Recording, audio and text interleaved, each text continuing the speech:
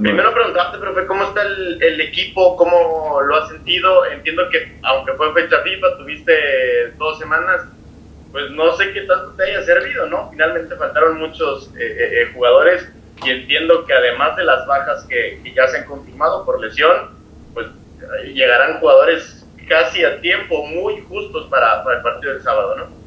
Sí, sí, o sea, hemos trabajado muy bien estas dos semanas en algunas cosas que teníamos que mejorar.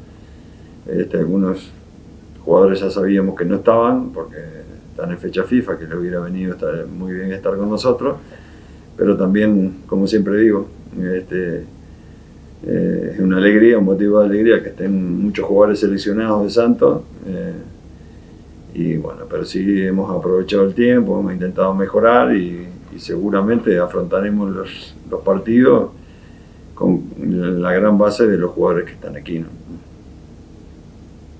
Orlando.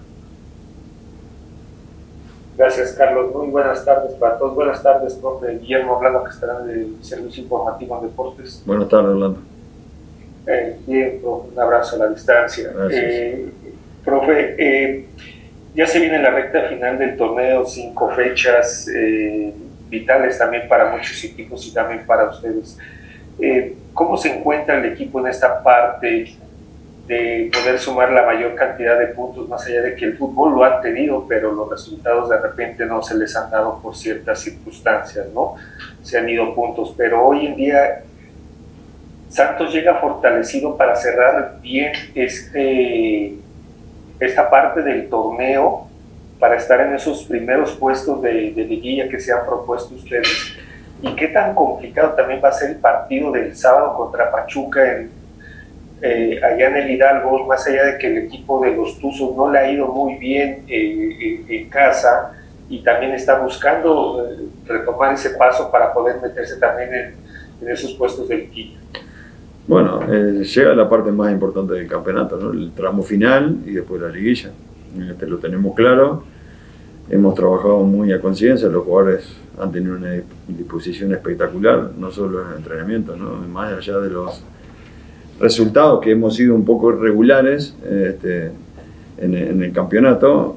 Los jugadores han tenido una disposición y se han matado prácticamente en todos los encuentros, han dejado hasta la última gota de sudor, más allá que quizás nos ha faltado efectividad en algunos momentos, volumen de juego en algunos otros, algunos errores que nos condenaron, una cantidad de cosas que nos han pasado y que las hemos intentado trabajar y han trabajado, repito, muy bien y tenemos muy claro que vamos a llegar en, un buen momento en el partido del cierre del campeonato, este, esperando con mucha expectativa que se sumen los jugadores que están en distintas selecciones para ver cómo llegan, cómo están, van a llegar muy sobre la hora del partido o se van a sumar a la concentración.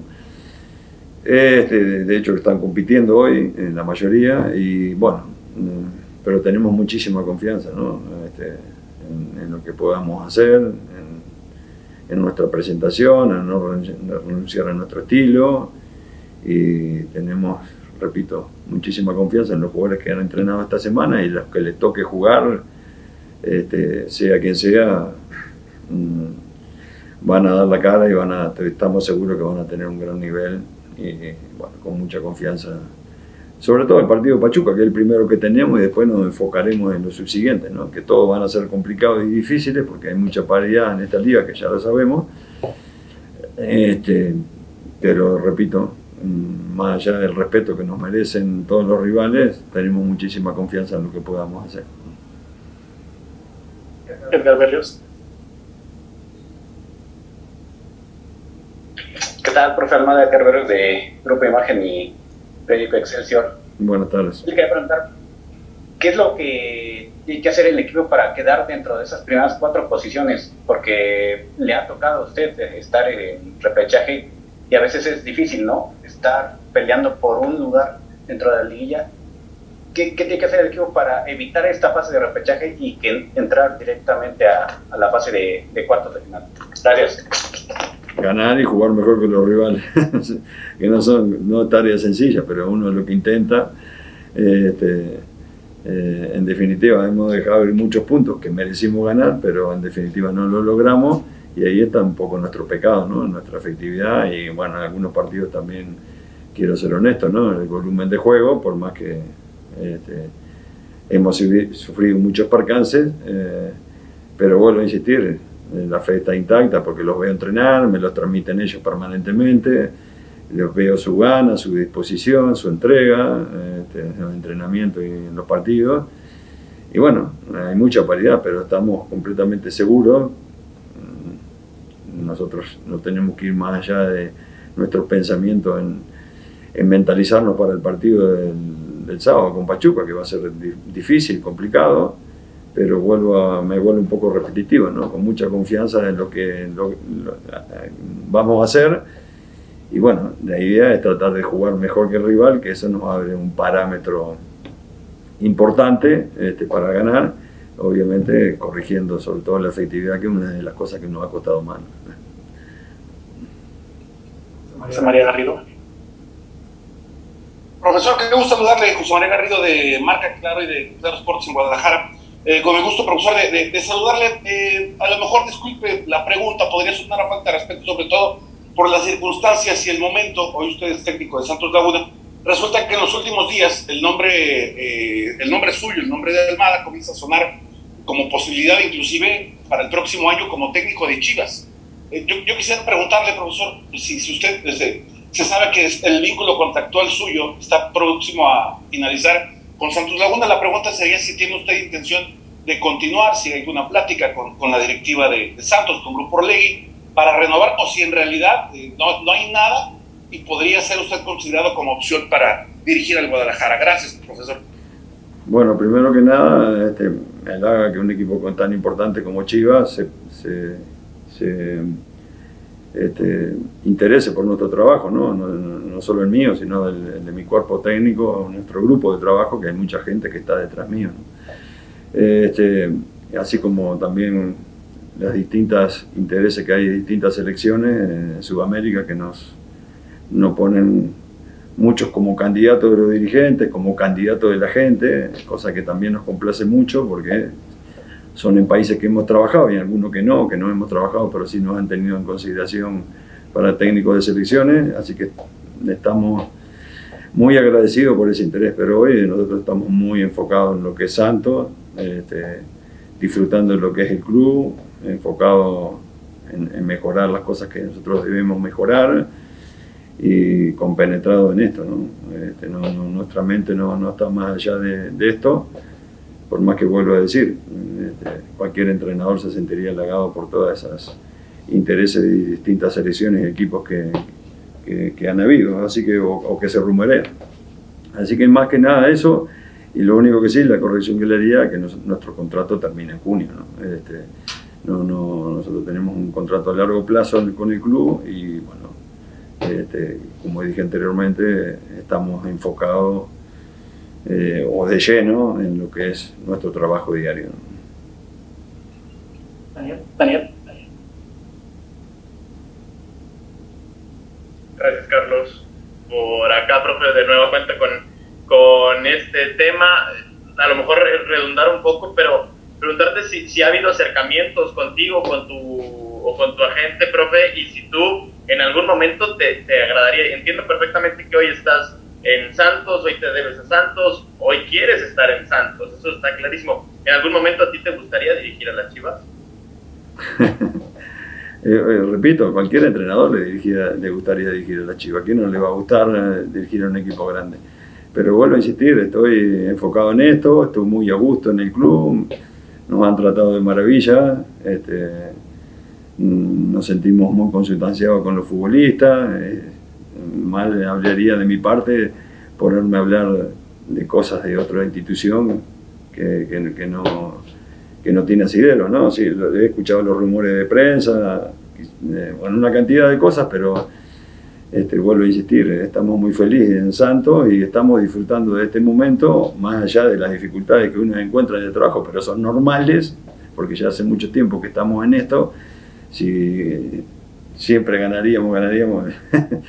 no, no, no sería real el fútbol así, ¿no? Este, el fútbol tiene algunos vaivenes que hay que tratar de superarlos con tranquilidad y bueno, estamos con todo por jugar, así que estamos, repito, muy enfocados este, con los futbolistas eh, en, nuestro desafío, que son los entrenamientos diarios y obviamente el primer partido con Pachuca. Claro, acercamientos contigo, con tu gente, profe, ¿no? Mm, bueno, no lo sé con mi agente porque hace tiempo que no hablo con él. Este, no, no, no, si te lo digo te, lo, te, mentiría. Conmigo no ha asistido ningún acercamiento por más que sí, he escuchado muchos rumores de prensa, me han llamado muchos periodistas, pero directivo conmigo no se ha conectado ninguno. Gracias. Orlando. Gracias, Carlos. Gracias, profe. Um, pasando en, esta parte de esta semana, que es una semana crucial para muchos equipos, que es semana doble, ¿qué presupuesto tiene hoy en día Santos en esta semana de nueve puntos, ¿cuántos lograr para, para acercarse al, objetivo realmente que tiene en mente hoy Guillermo Alvaro? Nosotros no vamos a resignar nada. Lo primero que tenemos en mente es ir a buscar los tres puntos con Pachuca. Después intentaremos con América y después intentaremos con Toluca. Este, este, es un equipo, una institución muy grande y el fútbol está hecho para ganar, no para sumar resultados de empate o perder. Este, no está en nuestro presupuesto nunca este, equilibrar la balanza en un empate o, o tener una derrota, digna. ¿no? Nosotros lo único que nos deja conforme, y es lo que tratamos de mentalizar prácticamente siempre a nuestro futbolista, lo único que tiene que dejar conforme es ganar. Este, el, fútbol, eh, la verdad la tiene que ganar, por más que para mí hay caminos y hay métodos y hay filosofías y hay una cantidad de cosas, indudablemente, o sea, a mí me dejaría muy preocupado si, por ejemplo, me cuelgo de travesaño y empiezo a pegarle la pelota para arriba para... Digo, de hecho, no, se lo voy a pregonar nunca a un futbolista porque para mí es hacer trampa y no, no, serían felices con eso, ¿no? Este, pero sí, nosotros vuelvo a insistir, este, lo, lo, que queremos es los tres puntos con Pachuca, después los tres con América y así este, el rival que enfrentemos. Pero tenemos que enfocarnos en el primer rival. Si nos ponemos a pensar lo que va a venir después de Pachuca, ese sería un error muy grande de nuestra parte. Cerramos contigo, Humberto Vázquez.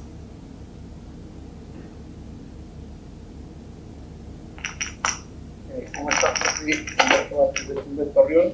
Eh, Buenas tardes. informaron de las, de, las bajas de eh, Piquiña, del huevo, que me imagino que te dejan eh, con, con, pocas opciones al ataque pero ¿cómo va la recuperación de Carlos Acevedo, de, Jonathan Díaz, entre otros? Bueno, lamentablemente Lozano se lesionó en el partido con Mazatlán, cuando se le apretó el músculo en, casi al final del primer tiempo y bueno, después por precauciones hizo un estudio y tenían una pequeña lesión, la estamos llevando con cuidado para que no, no, no tomar ningún riesgo, que son normales por la inactividad que él tenía, uno las trata de prevenir, pero después los partidos se dan intensos y, ahí uno no puede tomar precaución o cuidarse, ¿no? Este, y lamentablemente sufrió esa lesión que lo, alejó de toda esta fase que estamos entrenando. Lo de día fue algo similar en el partido este, anterior a ese, este, con Monterrey, y está en una fase de recuperación lo de Ibargüen sufrió un golpe en el gemelo con un compañero mm, que no son este, cosas prevenibles, ¿no? porque cuando uno tiene en un entrenamiento alguna molestia o alguno de los estudios que le realizamos permanentemente, el CPK, la, la, fototérmica o alguna interrogante que le, ofrecemos siempre al futbolista ante los entrenamientos para tomar alguna precaución, bueno, sufrió un golpe y eso un choque con un compañero, que eso nos ha castigado bastante y escapa un poco a, nuestras precauciones, ¿no? Este, que eso le derivó este, en, tener un dolor muy fuerte en el solio, que no le ha permitido entrenar y que seguramente le va a llevar algunos días más. ¿no? Este, una lástima porque él había mejorado su nivel, ahí lo pusimos y hizo un muy buen partido con Mazatlán, pero lamentablemente eh, le va a llevar unos días. Y el caso de Carlito viene muy bien, pero está entrenando en, aparte del grupo, todavía no puede tener, hacer entrenamientos o tirarse o entrenamientos más, más de contacto. y todavía seguramente, lo que no quiero este, decir un tiempo prudencial, pero le va a llevar un par de semanas más, dos, tres semanas más todavía, porque todavía, repito, él no ha empezado a entrenar, después se tiene que poner en forma, después tomar, retomar el arco, que no es una, una cosa sencilla para los arqueros, porque es que pierde más tiempo y distancia. Pero bueno, y estamos rogando para que los compañeros que están en las selecciones, que como dije se, suman unas horas antes, no les suceda nada y puedan este, sumarse en buenas condiciones. Pero ese es un poco el aspecto sanitario eh, de nuestro grupo, por más que, repito, confiamos muchísimo en los jugadores que lo puedan suplantar, sean canteranos, sean del club, sean jugadores de experiencia, porque todos están buscando su oportunidad y han entrenado en buena forma. Así que tenemos muchísima confianza en lo que, lo, en lo que les toque jugar, que seguramente, como les digo a ellos, ¿no? la camiseta está ahí, hay que agarrarla y, prenderse a ella y con buenas actuaciones seguramente la voy a sostener. Una, última, Jorge Domínguez. Profesor, muy buenas tardes. Le saluda Jorge Domínguez para el relato de los campeones Podium Deportes.